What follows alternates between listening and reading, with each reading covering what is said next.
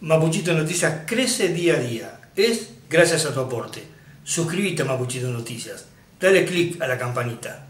Este 10 de agosto vamos a estar desarrollando el primer encuentro cultural de niñez y adolescencia en el CAMU, eh, donde van a participar eh, aproximadamente 150 niños, niñas y adolescentes de la localidad de Viedma.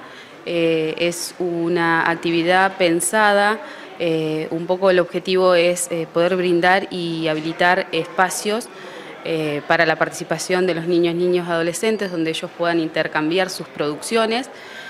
van a participar los niños, niñas y adolescentes de los programas preventivos, promocional y comunitarios de, Viedma y, para que ellos puedan compartir también sus producciones y a la vez las dinámicas que están pensadas para la jornada tienen como dos momentos. Uno, que es más que nada esto de, la muestra, de la producción, eh, que se viene trabajando en cada uno de los eh, espacios comunitarios y por otro lado eh, está pensada con espacios de aula-taller donde se van a brindar diferentes actividades vinculadas a todo lo que tiene que ver con lo cultural, baile, actividades artísticas y musicales.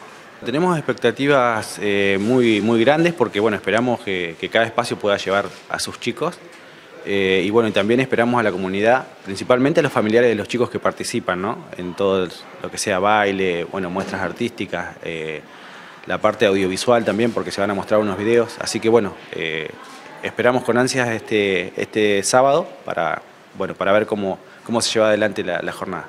Surge también eh, de la articulación con municipio, eh, nos organizamos eh, con el área de promoción social y comenzamos con esta, con esta propuesta a través de, de, la articulación, poder darle también la oportunidad a los niños, niñas y adolescentes de los diferentes barrios que puedan tener espacios donde disfrutar de estos encuentros culturales.